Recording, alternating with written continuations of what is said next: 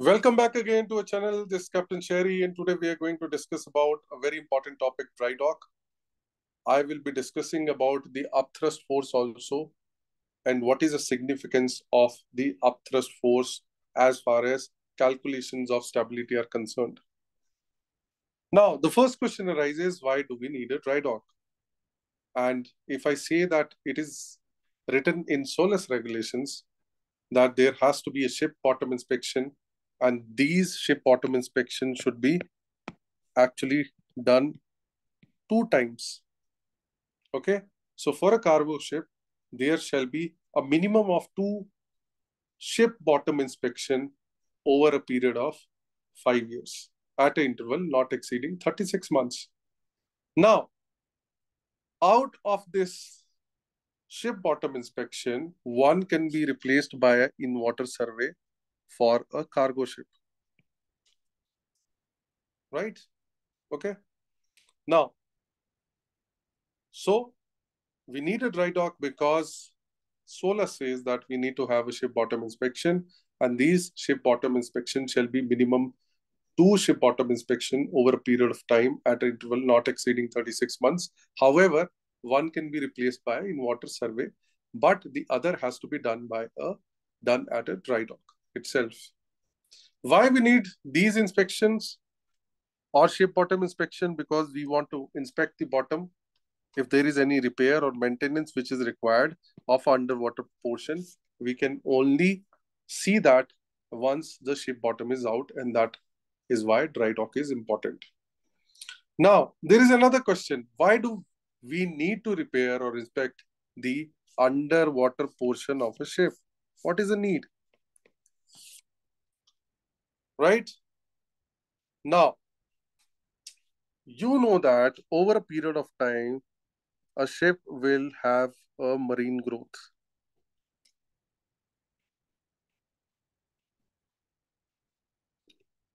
right? And this marine growth, growth irrespective of whatever anti-fouling system you have. Say, for example, you have ICCP or say you have the anti-fouling uh, uh, paint and coating or whatnot. But this marine growth, which will uh, be happening on the underwater portion of a ship, it will affect the speed of a ship. And if you're doing less speed and you are obviously doing more fuel consumption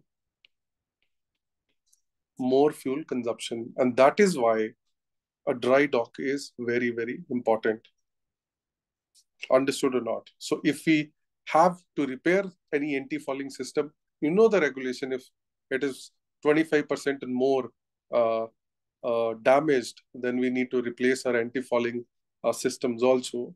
Uh, we are not going into too much detail. I'll cover it in some other video. And then, of course, if we require a maintenance of a rudder or a propeller polishing or say other things, that can only happen in a dry dock. Right? So that is the first thing. Now, when we go inside a dry dock, why it becomes so critical operation at that time? That is the second thing. Why it is so critical to enter a dry dock.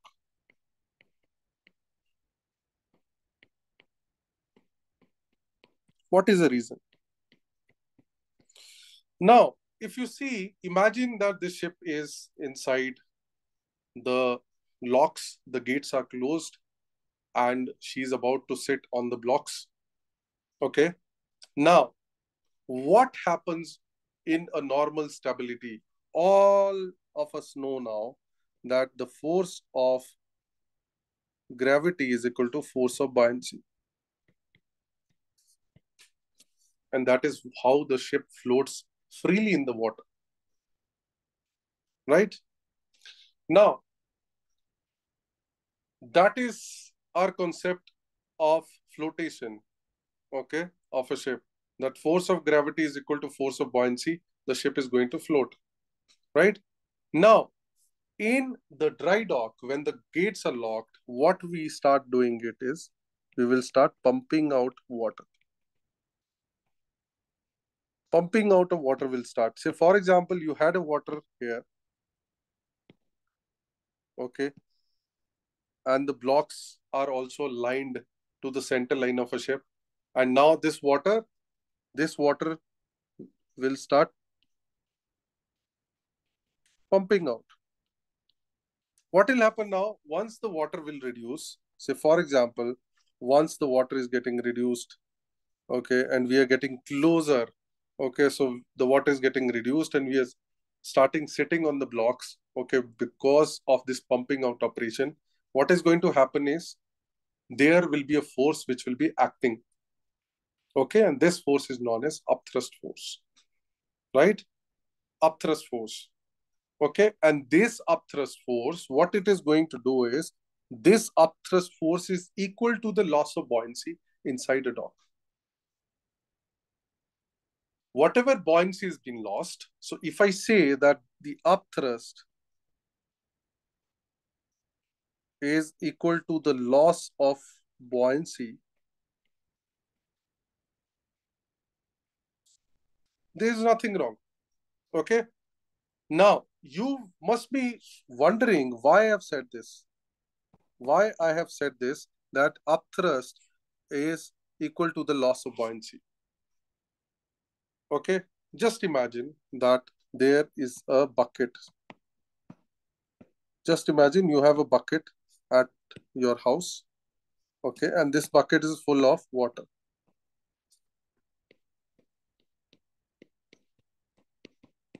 Okay, this is water inside the bucket. Let's draw it in the other color so that you understand. Okay, this is like water.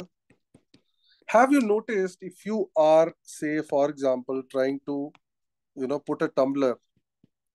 If you try to put a tumbler like this in this water, okay, when you put it inside and when you try to pull it up, okay, once you're dropping it inside, okay and then you're trying to pull this tumbler up what is happening is there is a force okay which you feel on your hand or palm everybody must have actually felt that.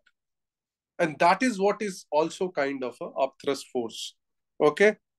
Understood or not? Okay? So that is what is happening there. So upthrust force is equal to the loss of buoyancy.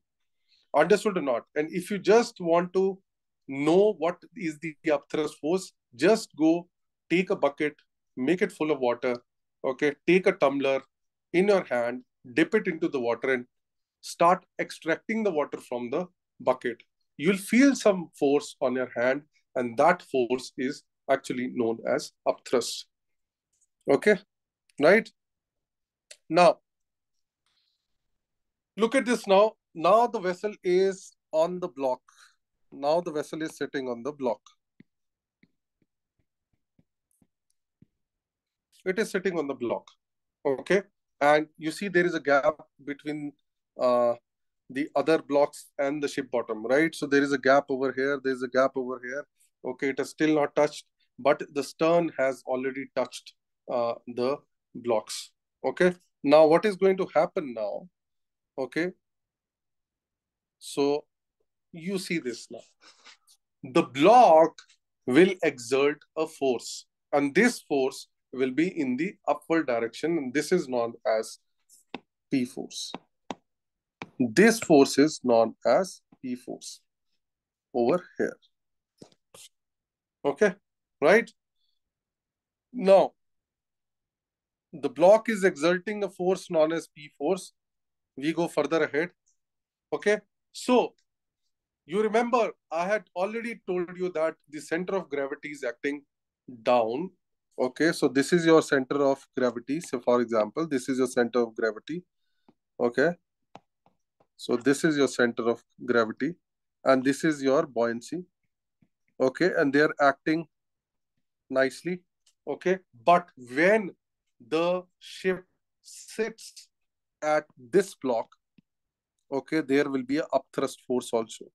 So there will be the upthrust force and this force will be acting in this direction.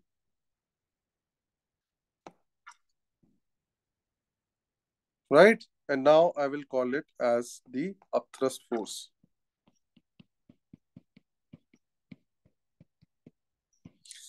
Now, once the upthrust force is going on top, okay, I told you in the previous slide, we had discussed that the upthrust force will be equal to how much force you're losing on your buoyancy. Okay, right? Okay, so now what is going to happen? See this.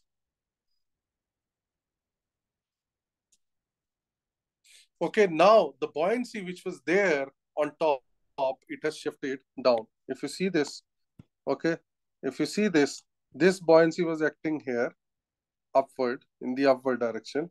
And this buoyancy which was here, okay, it got shifted to over here. Okay, so there is definitely a loss of buoyancy. Understood or not? Okay, so what I just said, I told you that the buoyancy was somewhere here, right? It was somewhere here. And now this buoyancy has come to this point. Okay, there is a loss of buoyancy. Okay, and this buoyancy loss is equal to the upthrust force, which is over here. Right, which is over here. So this is your upthrust force. So once this upthrust force will start acting upward, the same amount of buoyancy will be lost. Okay, and that buoyancy, okay, force will come, will start decreasing. Okay, understood or not? Okay, and that is what has happened over here. Now, everybody knows this diagram that a ship has to be in a positive or stable equilibrium. We all are trying to put a ship into a stable equilibrium all the time. Stable. And why ship is stable in this diagram? Because GM is positive. As simple as that. GM is positive, right? We have we have GM, which is a metacentric height. It is positive. Okay. Once the vessel heels to the other side, okay, there is a shift in a buoyancy. Again, it cuts uh, your line, you know, from the keel uh, to uh, a place which is known as metacenter. And, you know, around the metacenter, it stabilizes. Uh, uh, if it is heeling, then it is transverse static stability, which I'm talking about over here. Understood or not? So when you are entering the dry dock also, you need to keep the GM positive. You need to keep, uh, you know, stable equilibrium so that you don't lose the stability because of virtual loss of GM, right? Because of this upthrust force. Okay, so now look at this now. The ship has come on the keel. Okay, so this is your keel and uh, so this is your keel, right? So this is your keel over here. Upthrust force is acting like this. Upward direction, okay? And buoyancy is also acting, okay? Right? Now there is a problem. When the upthrust force is getting exerted, okay, from the keel, okay, right? it is not going to change. It is going to change, of course. The value will change, but the upthrust force, okay, from where it is acting, it will act from there only, which is keel. Okay, keel touching the blocks. So it will get exerted from the blocks and it will start acting upward. Right? Okay. On the other hand, the buoyancy will shift. There will be a decrease in the buoyancy. Okay. So now what will happen is now, because of this moment, what it is going to do is, it is going to create a capsizing moment. Okay, look at this, right? It is going to create a capsizing moment now. And this capsizing moment will get created, okay? And that is why, you know, we say, you know, the critical instant and critical period in a dry dock is very, very important because anytime the ship can capsize. If you have not done your stability calculations uh, perfectly and chief officer is not aware of maintaining a positive stability throughout the dry dock. Understood or not? So capsizing moment will be formed. Understood or not? Right? Okay?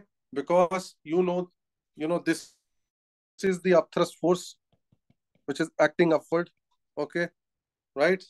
And this is the weight of a ship which is acting downward okay understood or not okay So the G is there, okay, and then you've got, uh, you know, if there is there is a shift in the buoyancy, you've got M also, okay, on top, okay, but but if the buoyancy will shift, okay, and if there is a loss of buoyancy, loss of buoyancy will decrease the Km, okay, so your meta center will change. If your meta center changes, then your M will uh, come down, and if your M comes down, okay, there is a virtual loss of a GM, which is dangerous for a ship.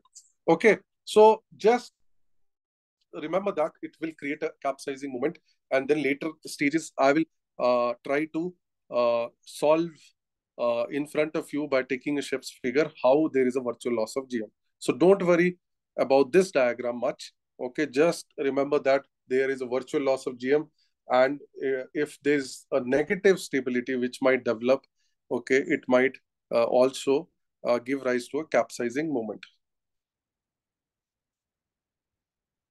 Okay, now, as I told you, as the ship will start settling on the dock, okay, so first the stern will touch. We know that, right? First, in every dry dock, the stern will touch.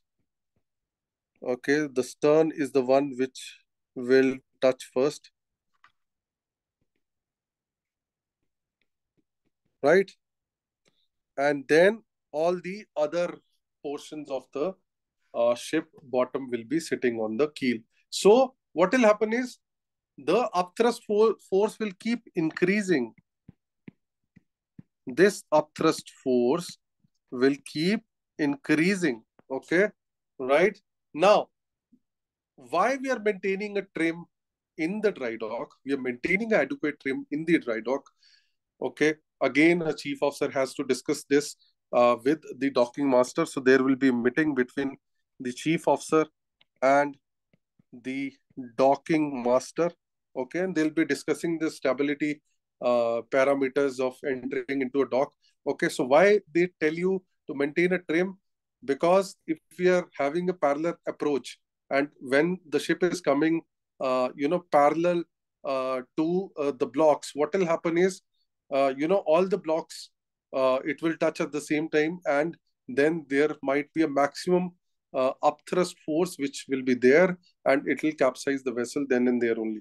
That is why what we do is we try to first uh, get the stern on the blocks, okay, and then uh, slowly, slowly, once the water is getting pumped out, uh, you know, the bow uh, will also eventually sit on the blocks. Okay, understood or not? So stern will sit, the bow will float, okay. So bow will float here and there until it sits and ultimately the bow will also sit. Now the period of say uh, your what do you call a stern touching and the bow touching is also known as a critical period. Okay, so what is a critical period? So once your stern has touched this block, okay, and once your bow touches the block or takes the block, and once uh, uh, that is done that is known as critical period okay now okay now once it settles down on the block okay fully then the upthrust force will be acting upward from the blocks and it will be equal. Okay so it will be acting equally from all the ends. Okay now the weight of the ship has come on the blocks there is no problem. Okay but if we would have gone bodily, you know, sinking the ship, take a parallel approach to the blocks, what would have happened? The upthrust force will be more, right? And then in that case, you know, we can have capsizing moments at different, uh, you know, part of the ship, and then ship can capsize. Okay, so the better approach is having the trim, getting the stern, sitting on the blocks. Okay, maintaining a positive GM at the same time, and then let the ship float freely for some time, and then settling the ship more or less when the water is getting pumped out on the blocks. Once it is on the block, the upthrust force will be acting upward, okay, equally, right? And the full weight will be on the blocks. So now the ship has full weight on blocks. There is no problem. Okay. Now, so this was a kind of a theoretical part. Now, what happens in a dry dock is you have this kind of lock, locking arrangement. So this is like locked. Okay. From here, it has got gate. So I am dividing it into two parts. Okay, so let's see, I can divide that. Okay, so there are two gates which are, okay, we can name them gate 1 and gate 2. Okay, both are locked. Now, what happens here inside is basically, uh, you know, there will be the blocks which I just showed you, right? There will be the blocks which will be down. So, you know, the ship has to, to get lined up. Okay, so for example, the blocks are lying on this line, okay? So it is lying on this line. Okay, so what they need to do is they need to line up a ship with this line, okay? Now, the divers will be arranged, basically. So, of course, uh, I'm not going into too much detail. The divers, diver team or whoever is supervisor uh, will come on board, have a meeting with the chief officer. And once a meeting is done, he will tell a chief officer that this is the diving checklist and, uh, you know, what signal has to be there and what machinery has to be shut down, what they need. Exactly, they will give you a checklist. Okay. And then, of course, the lights and the shapes and all that, or the flags which you need to put in uh, on the ship okay so that has to be put in as per the local regulations and then the divers will be telling you okay that whether a ship has got aligned to the blocks or not. Okay and then only the pumping pumping out of water will start. Understood or not? So there will be two divers mainly. Okay one will be at the forward end one will be at the after end and he will be actually telling the persons who will also come for stations on your ship. So basically, they'll be telling you, okay, ship has to move a little inside or outside or how it has to move, uh, you know, to get itself aligned to the blocks. Understood or not? Okay. Now, okay, so now, say for example, you've come inside a block, okay, and you're about to ship, uh, take the blocks. Okay, so I've just uh, made gate one and gate two, and this is a dock. So consider, uh, uh, you know, that we are inside on the dock like that, and we are aligned uh, to uh, the center line. Okay, so ship is lined up with the center line vertically over the keel block, and that is what I've written over here. Okay, so you need to align it first. Okay, right now remember I told you again, force of gravity is equal to force of buoyancy. Okay, when a ship is in a floating condition okay and once we'll start pumping out the water okay then uh, we will be having a problem okay now look at this ship okay so we have got a ship mv dd dry dock. And this mv dry dock is basically sitting is about to sit on the blocks. Take the blocks. We have started pumping out the water as well. Okay now there are pumps inside the dock. So pumping out uh, starts and it is all done by a docking supervisor or a dock master.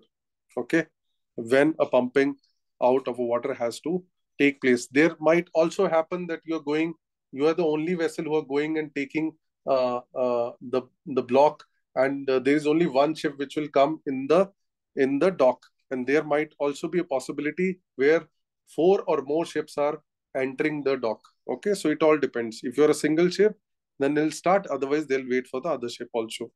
Right? There will be mooring gang also on board of your ship uh, which will be helping uh, you out okay uh, to send the moorings ashore so that with the moorings also you will be lining the ship. So divers remember will be telling you how to line up a ship with the blocks and this will be done by the mooring by pulling or you know wearing or rendering the rope or whatever it is. Okay so before Entering a dock, chief officer has to maintain a stable equilibrium, reduce your free surface effect, adequate trim. I told you why adequate trim. Okay, why we are not bodily sinking the ship onto the blocks. Okay, and now you have made a base. So maintaining a stable equilibrium, free surface uh, correction, okay, has to be done. And uh, please avoid, uh, you know, slack tanks, okay, and please avoid part partly filled tanks, okay. Uh, instead of that, fill up uh, tanks uh, if you're taking any ballast to maintain that trim or whatever it is. So free surface effect, please reduce it to the bare minimum. Okay, right? Now, let's go further ahead. Now, you see this, again, that is the same vessel and it has taken the block. So obviously the water, uh, uh, you know, uh, it is it is sitting on the blocks and we're still pumping out the water, okay? And, uh, you know, vessel has uh, touched the, the block. Okay, now what will happen is this block is going to actually, right, this block is going to actually create a force which is known as upthrust force, which we also known as a P force. Okay, right? Understood or not? Now, you know that center of flotation is what? Okay, center of flotation is the center, geometric center of a water plane area, and it is uh, such uh, uh, a point, it has no effect on the of the transverse inclination or longitudinal inclination. That is what is center of flotation, right? Okay, now center of flotation is at a distance of say LA uh, from uh, the aft where it is sitting the sitting at the uh, what you call sitting at the block. Now, if I say that the weight of a ship will be equal to buoyancy force plus P force, it will not be wrong, right? Remember the example of uh, you know, a tumbler inside a bucket. Okay, right?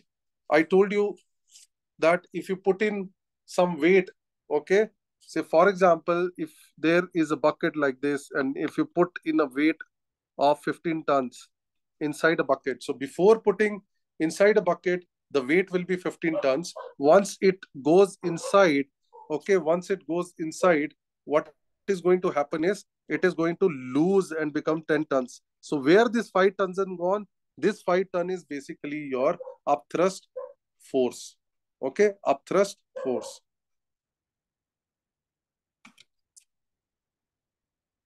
So if I say that this W, okay, is equal to buoyancy force which is decreasing. I told you why it is decreasing because as the magnitude of upthrust force increases, the buoyancy decreases is equal to uh, plus your upthrust force which is increasing okay so that is what uh, is uh, there what you gain from this diagram right now now look at this now and imagine your ship is you know sitting at the block okay which is over here. It is sitting at the block okay. The keel is sitting at the block okay. And now you know that when the ship is heeled the buoyancy is going to shift to this point which is b1 okay. And it is going to act upward which it is doing right okay. Okay now there is one more thing which you need to know is you know the p force the p force is acting in this direction like this Okay, right? Okay. So, what is happening here now? Let's see this. Okay, so I am not going to go and tell you that B is going to cut at B1 and then, you know, B1 is going to act upward. Okay, and it is going to cut somewhere here at the meta center, right? That is basic stuff which we have done. Okay, you're supposed to know that. And there, then there is a G also from where a weight is acting downward as W. Okay. Now, there are two forces which are acting upward and these forces are known as, you know, P force and the other is your W minus P. Why it is called W minus P? Why? Right? It is called W minus P because of only one reason. Why? Because I told you that once the ship has taken uh, the uh, taken the blocks, okay, what is happening is when the ship has taken the blocks, what is happening is at that moment, okay, there is some of the weight which is borne by the block also. Okay, right? There is some of the weight which is borne by the block also. Okay, so before that, when it was not sitting at the block, okay, the W was equal to the force of buoyancy, isn't it? But when it took the block, some of the weight has been taken by the block also. So that weight is equal to the upthrust force. So I have reduced the upthrust force from W. Okay, right? Now, the resultant shall act through the M1. Okay, so there is P, there is W minus P, there are two parallel forces. So resultant will be acting through a new point, which is known as M1. Okay, and this is this point. Okay, this is your M1. This is your M1. Okay, over here. Okay, so now there is a resultant of P and W minus P. W minus P is what? It is a buoyancy force. Remember, it is a buoyancy force. Okay, this is a buoyancy which is acting in the upward direction. And this is what? This is your upthrust. Okay, so now there is a resultant which will again cut down, okay, at point M1. So if the kg is constant, okay, so if the kg is constant, okay, the km will drop to a new position called km1 because of the decrease in buoyancy. Remember, because buoyancy is decreasing, so km is also going to decrease, okay, and then it is going to cut at a new point m1, and this m1 is what? This m1 is from where a new resultant uh, will uh, pass through. Okay, understood or not? Right? Okay. Now, why there is a decrease in buoyancy? As we know, the upthrust force is created and because the upthrust force is created, okay, right? Because the upthrust force is created, this P is created because of transfers of buoyancy on the keel. Understood or not? Right? Okay. Now, let us go further ahead and see this. Okay. See this again. Okay. So there are two parallel forces which are acting. Okay. Why they're acting? So I know that this is the upthrust force. This is the upthrust force which is acting from the keel in the upward direction from the keel, right? And this is this is my P force, right? And there is a buoyancy also because the ship has heeled. So it has also act upward, has to act upward. This is a buoyancy force. But this buoyancy is a reduced, reduced, uh, what do you call, by P factor. Why W minus P? Because there is some weight. So for example, your ship was, let me make it very, very simple. Your ship was of 100 tons. Right? Now, 100 tons, if I want to float this ship, I need a force of buoyancy which can equalize these 100 tons. So I need a buoyancy, okay, of those 100 tons. Right? Now, because now the ship is sitting on the keel, because the ship is sitting on the keel, now what is happening is, right, the upthrust force will start acting. Say if this upthrust force is say just giving an example say it is 20 tons okay right okay. It is 20 tons. So this 20 tons weight of a ship is also borne by the block right? So now what is remaining is 100 minus 20 which is called as 80 tons. So now buoyancy only has to take care of that 80 tons right? Because 20 tons is also 20 tons is also weight, but it is borne by the block now. उसको block ने ले लिया Understood or not? This is borne by the block. So that is why I'm uh, writing here W minus P. Understood or not? Okay, right? Now, let's go further ahead. Okay, now look at this. Now, this diagram is very, very important. Why there is a virtual loss of GM? So I told you that if we have, you know what, what we have, if we have like, say, momentum which is created by P. Why the mo moment is created? Why the moment is created by P? Because P is, right, there is a force which is acting and it is separated by a distance also. So momentum will be created. That we know, right? So now the P is creating a momentum. Okay, this P is going to create a momentum, right? And this momentum will be equal to mo moment created by the buoyancy also. Right or wrong? Okay. So whatever movement is created by P will be equal to movement created by buoyancy. Understood or not? Now, say for example, if this is actually separated by a distance called x, okay, so this basically this distance is x and this distance is y. Understood or not? So there is a distance x, there is a distance y, okay, right? Now, if I say this, the moment created by P is equal to moment created by buoyancy. So I will say, okay, so this is P, okay, P multiplied by X. So this is the force and this is the distance right? And force into distance gives me movement. I know this, right?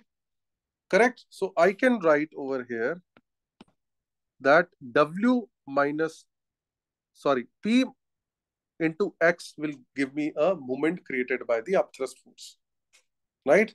At the same time, I can also say that this WP, which is a force over here, and it is separated by this distance okay it is separated by this distance this distance y okay? So i will say it is w minus p multiplied by y. Right or not?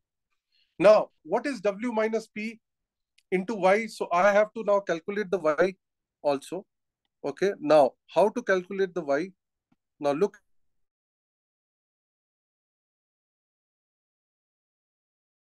Easy and I can easily tell that this y, which I want to calculate over here, this y, okay, so this distance y, okay, from here to here, this distance y, okay, is equal to this distance, right, over here. And this triangle, okay, right, okay, right, if I, this triangle is right angle triangle, if I find out this length, this length is equal to this length, right? So that length over there is m m m m1 sine theta. So y will be equal to mm1 sine theta, and that is why I've written over here, okay, which is mm1 sine theta. Same thing goes for my x, right? How to find out x? If you see this, this length x is equal to what is equal to this length? Understood or not? This. Right? This x length over here is equal to this length. And if that is theta, okay, I can say easily that that is km 1 sine theta if it is a right angle triangle and if you apply Pythagoras theorem. Understood or not? So I have find out this as well. Right? Now I just have to say W minus P is equal to MM1 P KM1. Why? Because sine theta and sine theta will get cancelled. Simple maths. Okay. And then WMM1, just open uh, this bracket, is equal to PMM1 is equal to PKM1, right? And now what I've done is WMM1, I've taken it to the other side, PKM1 plus MM1, okay? So now what is this KM1? If you know this, okay, just pay attention to this now. Your KM1, okay, so K, this is my keel, Yaha se lekar yaha tak ka distance is KM1 and then MM1 is this distance. Right? So if I together say this, this is equal to km, right? This full distance is equal to km. Understood or not? So km1 and mm1, okay, is going to give me km. So I have written this is equal to, okay, km, p into km. Now what is mm1? I can write it p into km divided by w. Understood or not? Now, what is this MM1? Okay, if I say this MM1 is nothing, but this is also known as the virtual loss of GM. Why? Because your GM, GM was this much. Okay, if I draw a line over here, like just a parallel, or let me draw it in the another color. Over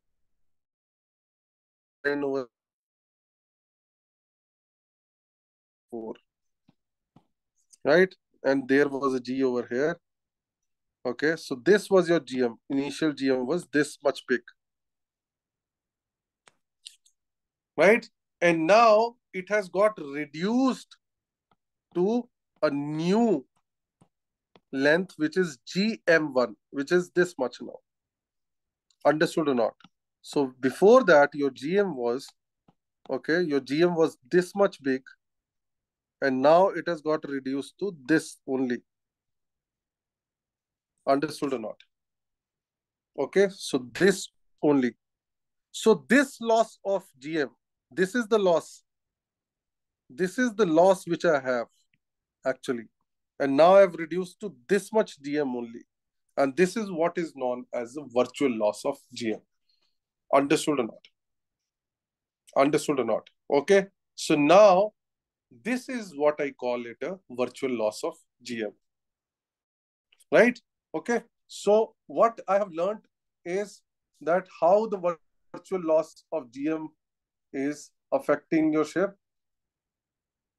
The virtual loss of GM will affect your ship because if you will start with if you will start with a very less GM, okay, while coming inside a you have a virtual loss of GM, okay, you might develop a negative stability and the ship might develop a capsizing lever and your ship might get off the blocks. And that is what is very, very dangerous. That is what is very, very dangerous as far as you are concerned right? So whenever you become a chief mate and you are having a dry docking, okay, please note that you should maintain a positive, positive equilibrium, a good GM. Understood or not?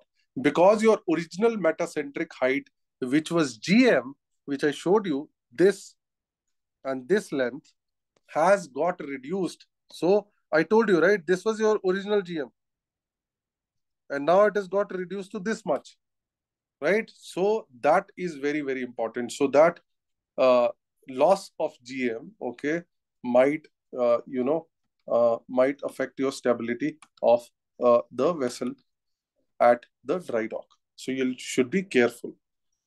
Okay? Understood. I hope uh, you like uh, this video. Thank you very much for paying attention. If you want to know some other topics you can uh, just comment in the comment section and I'll come up uh, with a new video uh, regarding the same topic. Thanks a lot for paying attention again.